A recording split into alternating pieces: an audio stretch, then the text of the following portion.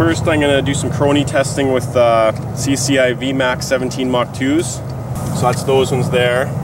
That's what they look like, little black tip. The conditions are it's 10, 10 above zero right now. Altitude density is 342